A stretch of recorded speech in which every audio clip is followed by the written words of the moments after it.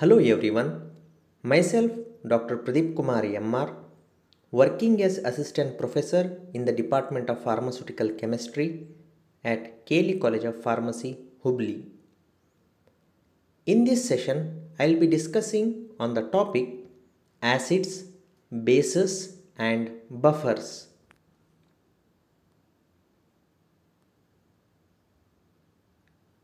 Introduction Acids and bases can be defined as per the following different theories. That is first one traditional theory, second one Arrhenius theory, third one Bronsted and Lowry theory, fourth one Lewis theory. Now we will see one by one theories which will define the acids and bases in a different way. First, traditional theory. As per traditional theory, acid can be defined as follows. Compound or a substance which converts blue litmus paper to red is known as acid. Some of the properties of the acid are they have sour taste, they have a pH less than 7, acids react with bases to form salts and water. Example includes hydrochloric acid, acetic acid.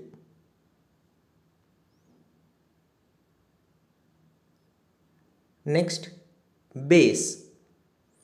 Compound or a substance which converts red litmus paper to blue is known as base.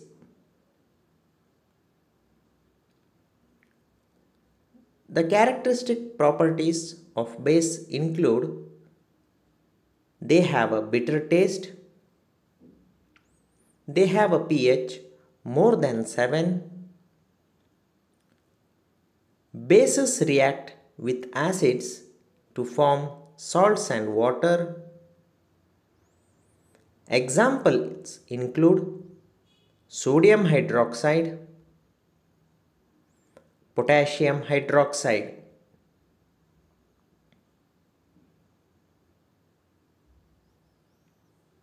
Here just I am showing the pH scale where we could see the different items which are shown at the top and below.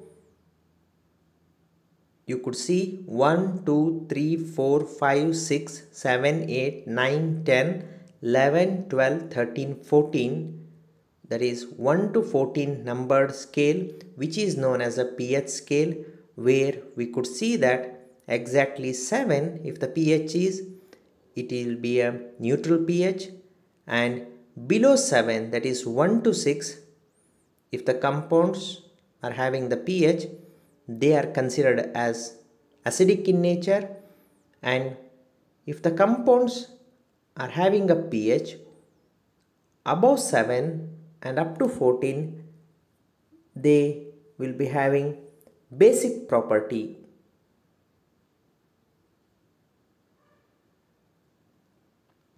Coming to the second theory that is Arrhenius theory.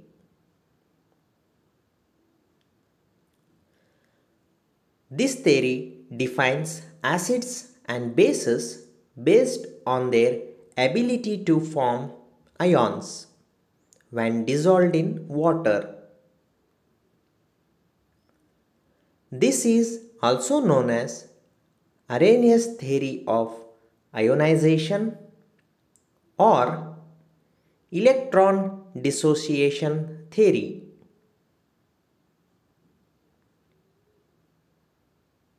Coming to the definition of the acid as per Arrhenius theory, it is a substance which when dissolved in water yields hydrogen ion. This is with an example of the HCl we are showing how does in an aqueous solution HCl dissociates itself into H plus and Cl minus ions. Now base.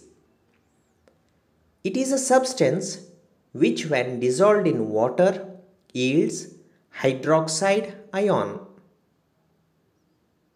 Example sodium hydroxide. Here this is the equation. Sodium hydroxide that is NaOH when dissolved in water dissociates into Na plus and OH minus ions.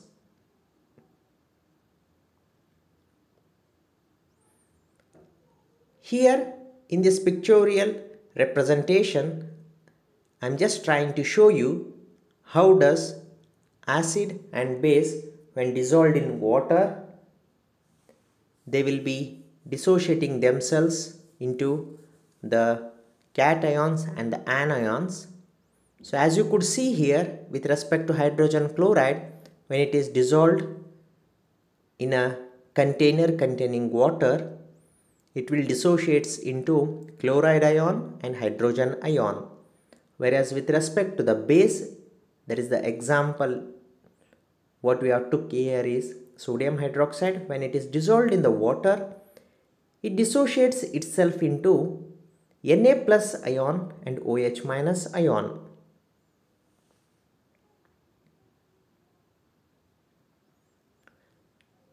Now, limitations of Arrhenius theory. First one, the definitions are only in terms of aqueous solutions and not in terms of substance.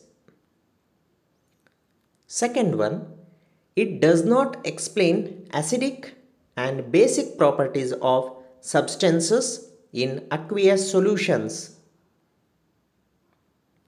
Third, neutralization of acid and base in absence of solvent is not explained.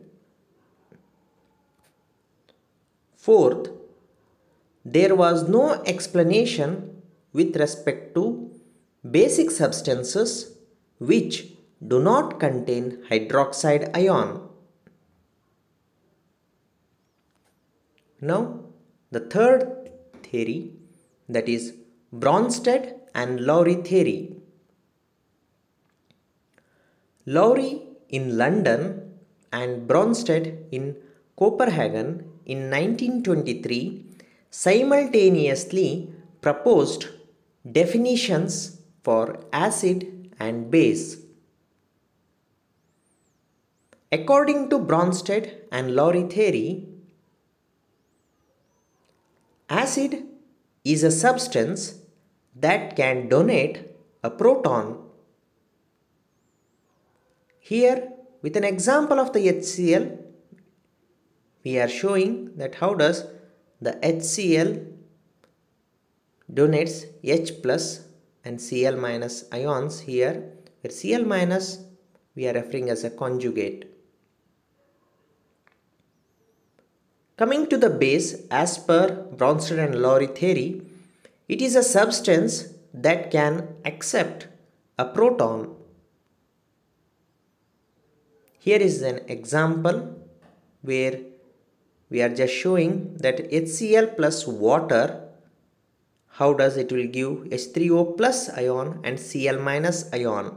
So here we are trying to show that HCl is an acid and H2O in this case just like a base which when undergoes a reaction they will form H3O plus which is an acid and Cl minus a base.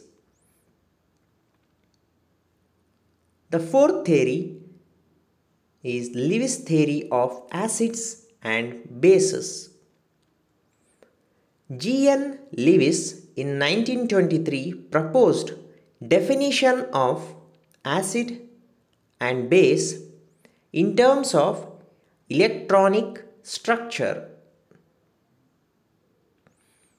As per Lewis theory, acid is a molecule or ion that can accept a lone pair of electrons.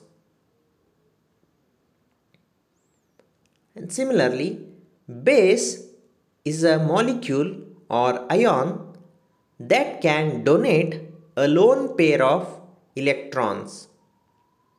As we could see the two examples here which can give us the better explanation. So here we can understand how does an acid is accepting lone pair of electron and how the base is able to donate a lone pair of electrons.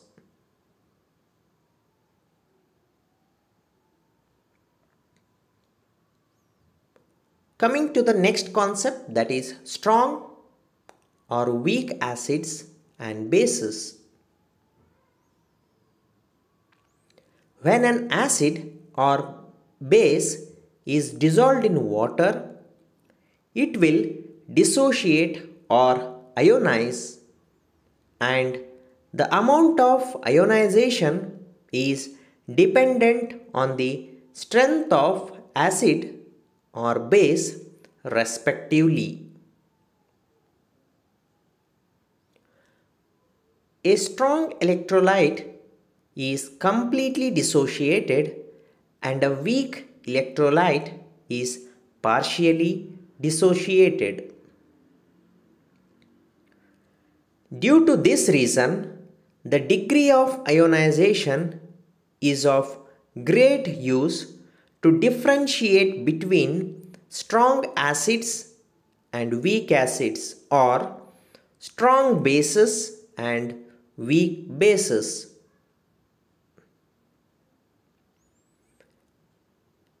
Here are the few examples for strong acids weak acids, strong bases and weak bases. Here I have quoted few of the examples for your understanding.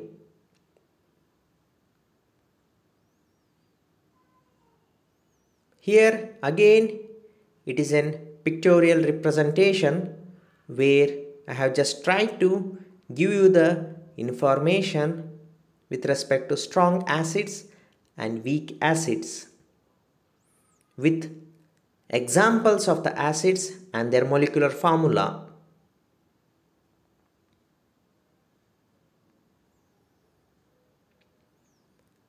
Here I have given the list of some strong bases and weak bases. As it is already mentioned, the strong bases ionize completely or fully, whereas weak bases does not ionize completely or fully. They will be only partially ionized.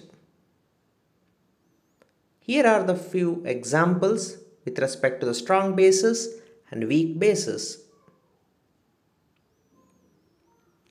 Coming to the next concept, hydrogen ion concentration, pH and pOH.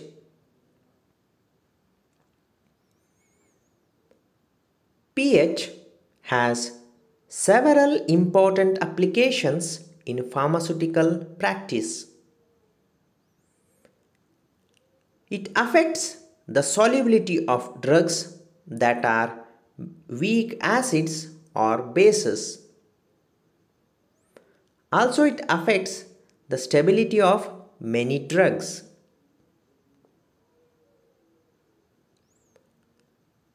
So having got the knowledge regarding how does the pH can affect the solubility of the drugs so we need to go depth into understanding what exactly the pH is and how it can be measured. Sorensen in 1909 devised a scale known as pH scale. Now coming to the definition of the pH. It is defined as the negative logarithm to the base 10 of hydrogen ion concentration which can be calculated with respect to this formula or the equation pH is equal to minus log 10 of hydrogen ion concentration.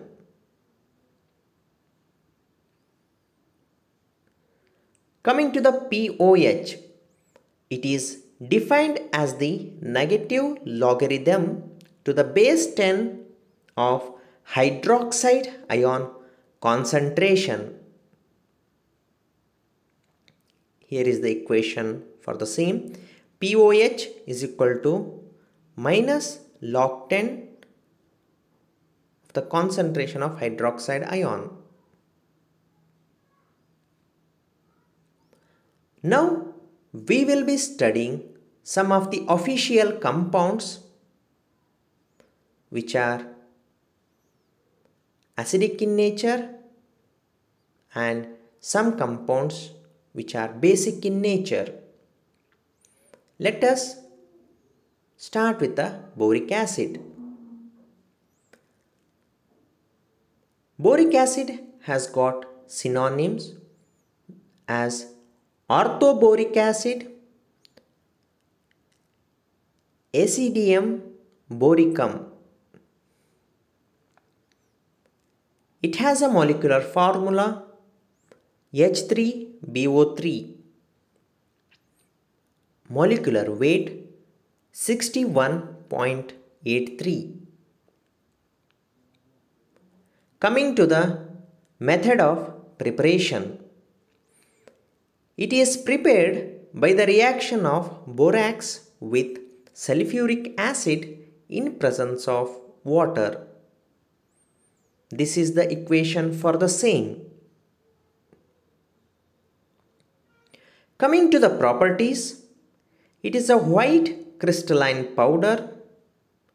It is odorless, soluble in water as well as soluble in ethanol and glycerin.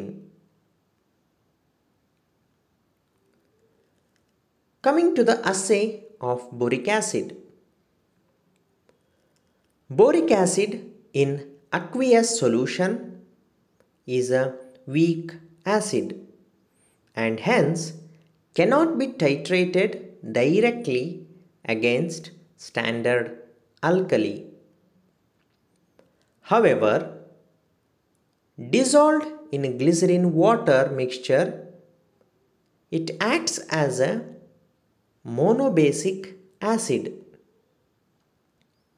and can be titrated with standard alkali using phenolphthalein as indicator.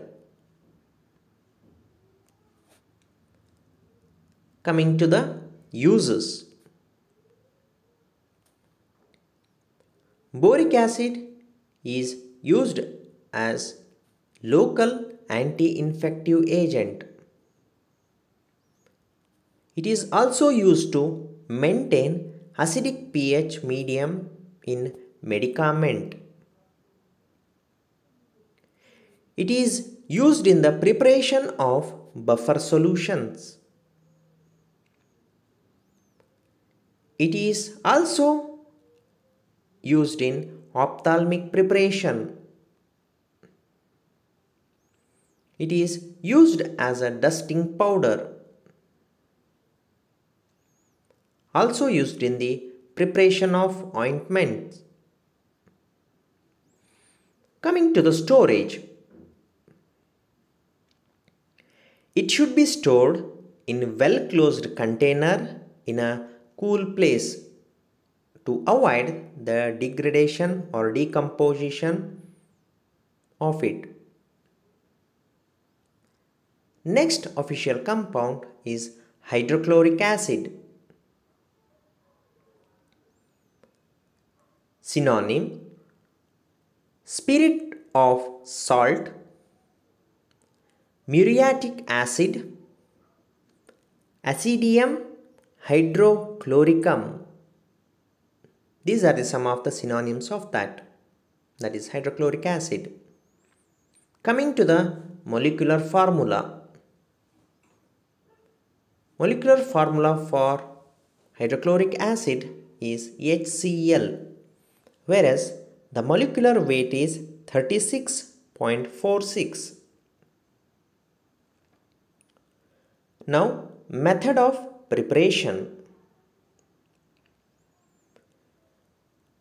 It is prepared by the action of concentrated sulfuric acid on sodium chloride.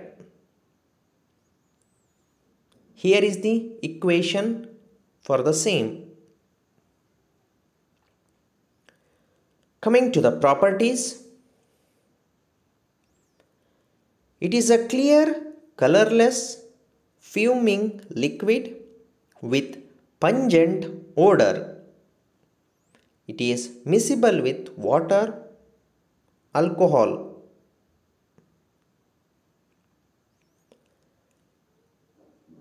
Coming to the assay of hydrochloric acid. Hydrochloric acid being a strong acid is titrated by alkalimetric method using sodium hydroxide as titrant and methyl orange as indicator. Uses. Hydrochloric acid is used as a pharmaceutical aid that is as an acidifying agent, as a solvent in industry, in the manufacturing of basic pharmaceuticals, as a reagent in laboratory. Coming to the storage, it should be stored in well closed container at a cool place.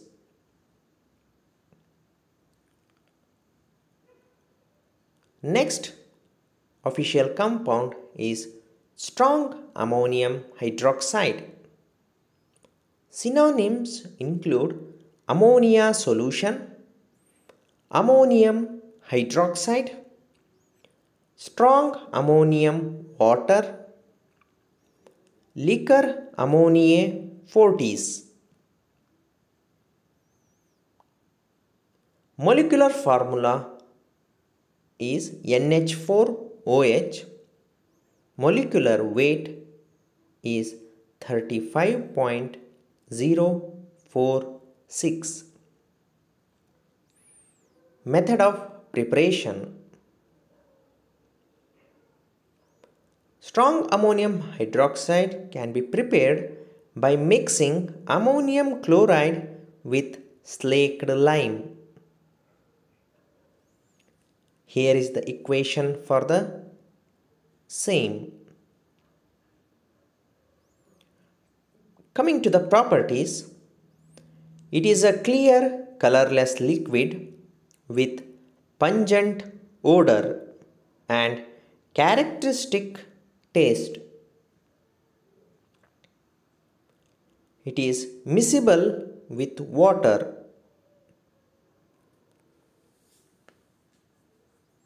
Coming to the assay. It is assayed by acidimetric method. It is titrated against 1N hydrochloric acid using methyl red as indicator. Uses It is used as alkalizing agent, as reflex stimulant, especially in case of fainted person, as vasoconstrictor, as antacid, as well as as a reagent in laboratory. Storage. It should be stored in well closed container in a cool place. Next compound is sodium hydroxide. Synonym caustic soda, soda lye. Molecular formula is NaOH. Molecular weight is 40. Method of preparation By treating sodium carbonate with lime water, sodium hydroxide can be prepared. This is the equation.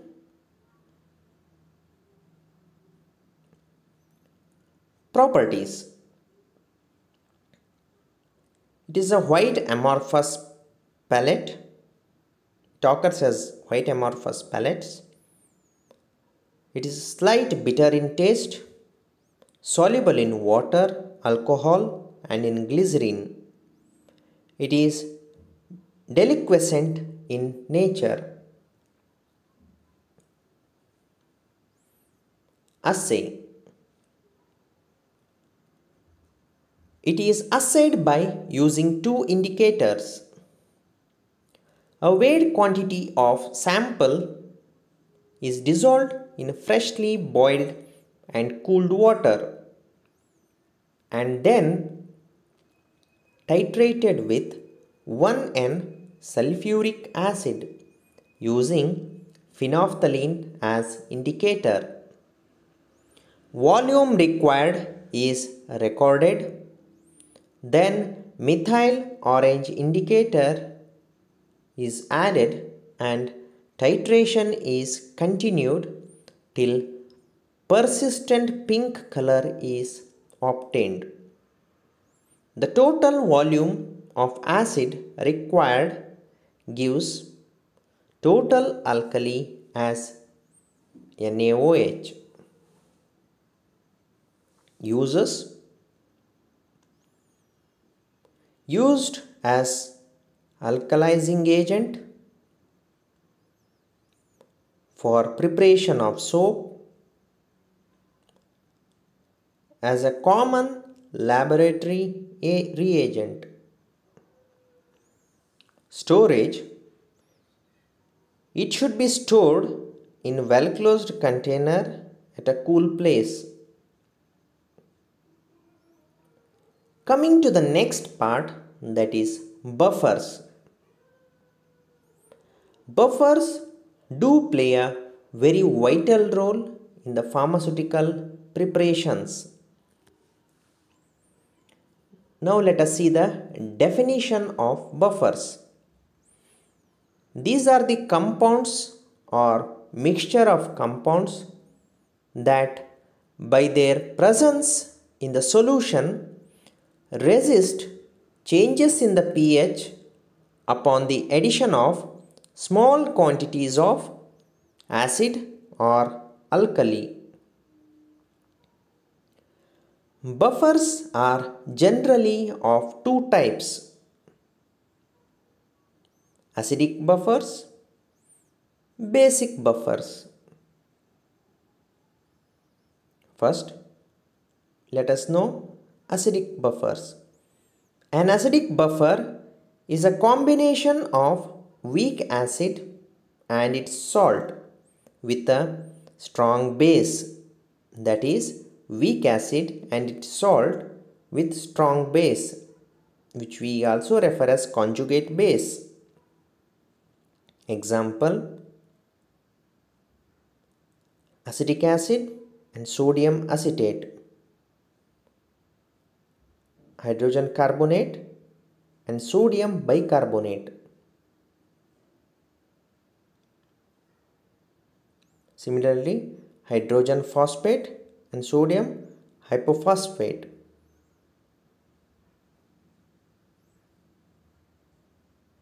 Then formic acid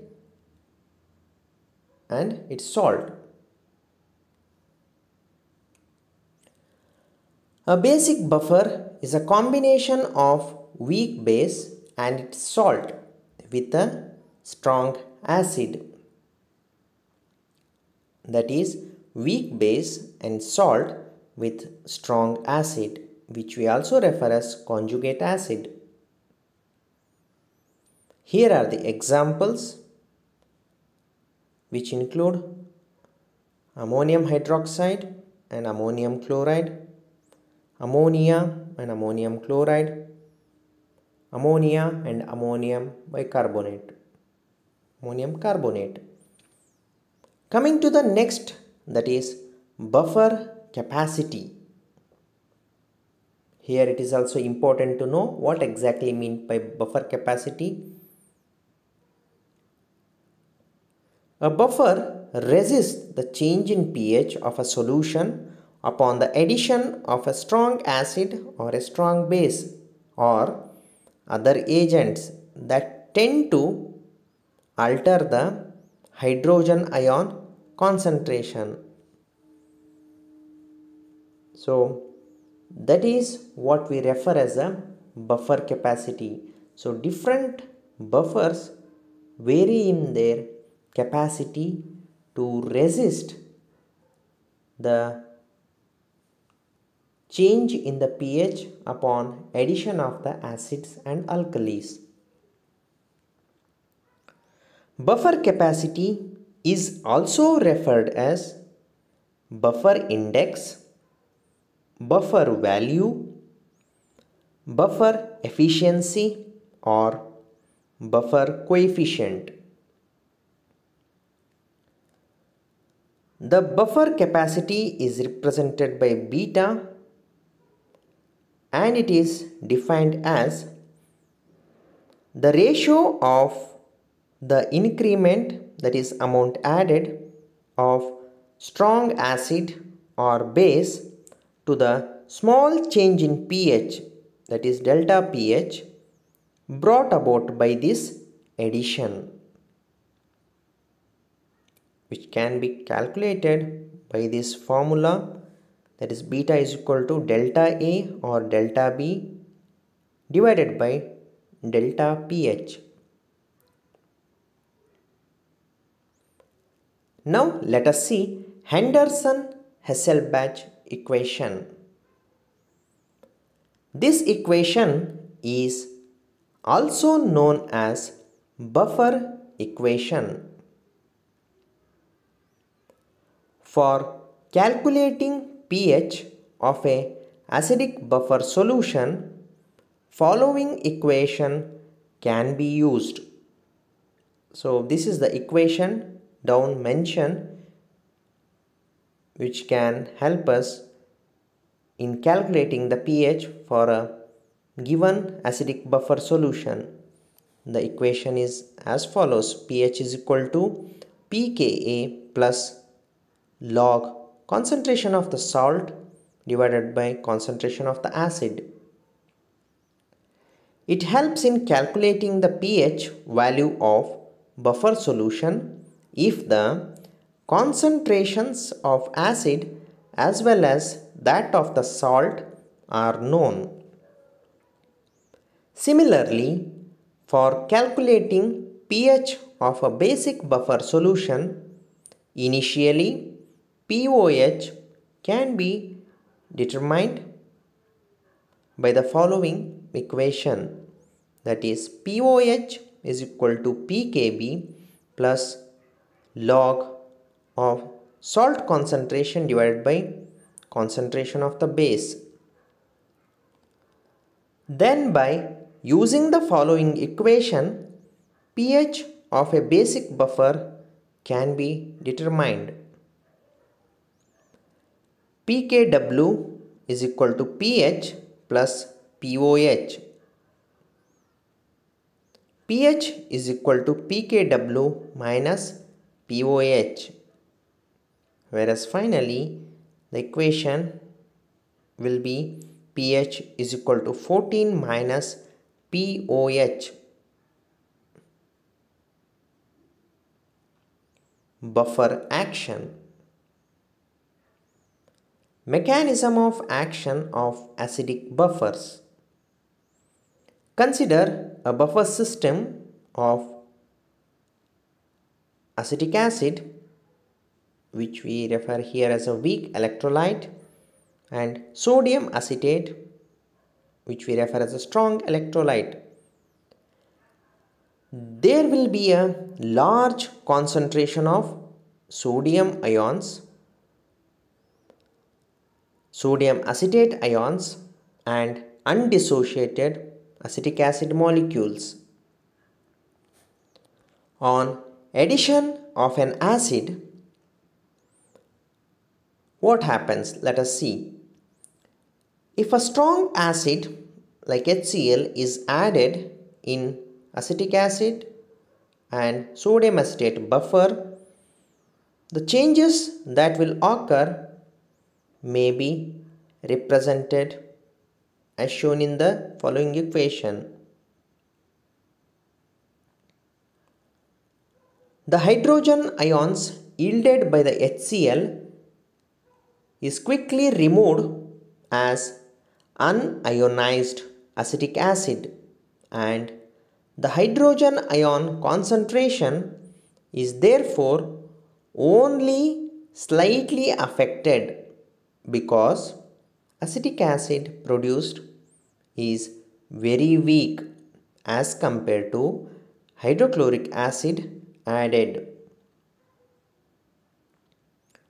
Now, upon the addition of base, if a strong base like NaOH is added in acetic acid and sodium acetate buffer, the changes that will occur is shown in the following equation.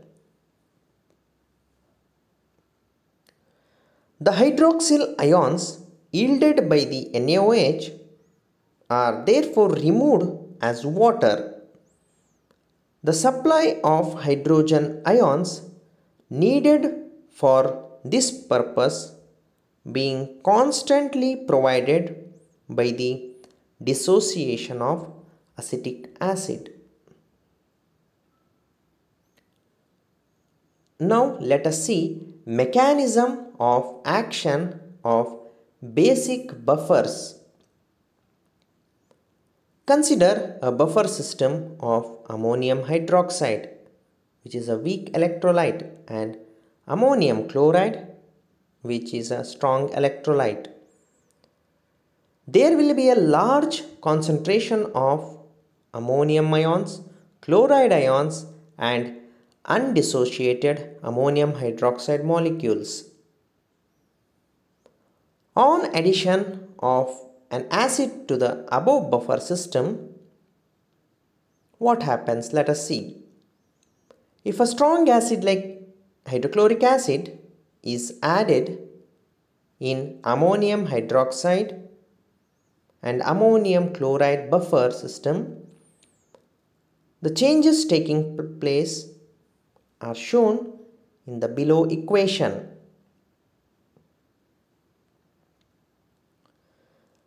The hydrogen ions yielded by the HCl are therefore removed as water. The supply of hydroxide ions needed for this is constantly provided by the ammonium hydroxide. On addition of a base to the above buffer system, what happens? Let us see. If a strong base like sodium hydroxide is added in ammonium hydroxide and ammonium chloride buffer system, the changes occurring can be shown in the following equation. The hydroxyl ions yielded by the sodium hydroxide are therefore quickly removed as unionized ammonium hydroxide and the pH of solution is only slightly affected. Now let us see the applications of buffers. First, one is in case of biological systems. The pH of blood is maintained at about 7.4 by two buffer systems which are naturally present in the human body namely A. Primary buffers. These are present in plasma. The plasma contains carbonic acid and carbonate and acid or alkali sodium salt of phosphoric acid. B. Secondary buffers. These are present in erythrocytes which are oxyhemoglobin or hemoglobin and acid or alkali potassium salts of phosphoric acid. Due to the primary buffers and the secondary buffers, the pH of the blood therefore is maintained at about 7.4. Second, in pharmaceutical preparation, buffers are widely used in the field of pharmacy as ingredients in most of the pharmaceutical formulations in order to adjust the pH of the product to that required for maximum stability.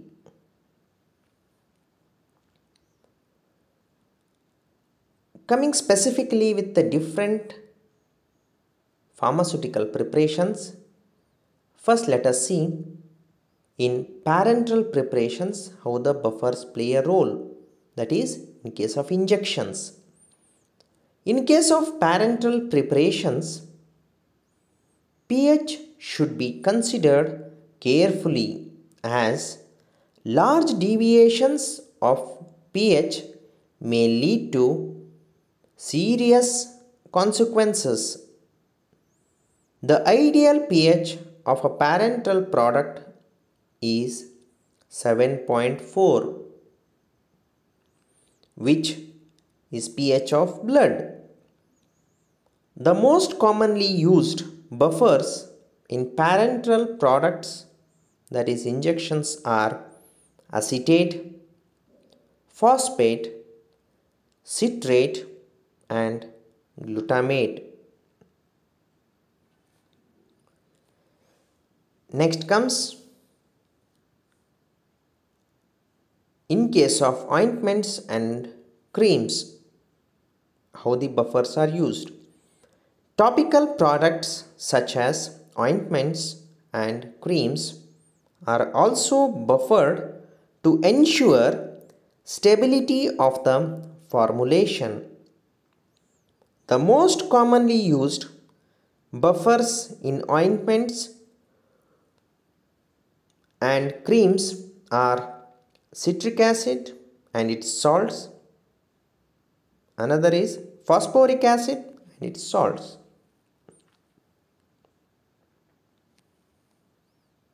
Next comes the use of buffers in ophthalmic preparations that is the preparations which are used in the eye. Buffers are generally used in ophthalmic preparations to maintain the pH within the physiological pH range of lacrimal fluid. The lacrimal fluid has a pH in the range of 7 to 8 but it has good buffering capacity and can tolerate preparations having pH values between 3.5 to 10.5 with little discomfort. Outside this range that is 3.5 to 10.5 increased lacrimation may occur with other complications. The buffering agents most commonly used in case of ophthalmic preparations include borate, carbonate and phosphates. Now let us see some commonly used buffer solutions in pharmaceutical preparations. Gifford suggested two stock solutions that is boric acid solution and monohydrated sodium carbonate solution. Upon mixing in various proportions, these two stock solutions yielded a different strengths buffer solutions of pH value varying from about 5 to 9. Sorensen proposed a mixture of the salts of sodium phosphate for buffer solutions of pH 6 to 8. The Clark Lubs mixtures and their pH ranges are enlisted here. pH 1.2 to 2.2 can be obtained by the combination of hydrochloric acid and potassium chloride. To get the pH in the range of 2.2 to 4, hydrochloric acid and potassium hydrogen phthalate are used in the mixture. For pH 4 to 6.2, NaOH and potassium hydrogen phthalate mixtures can be used. For pH 5.8 to 8, a combination of NaOH and potassium hydrogen phosphate can be used. For buffer solutions having a pH in the range of 7.8 to 10, hydrogen borate, sodium hydroxide and potassium chloride mixtures can be used.